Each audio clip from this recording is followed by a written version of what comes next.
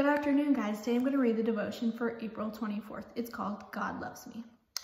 Teach a child to choose the right path, and when he is older, he will remain upon it. Proverbs 22 6.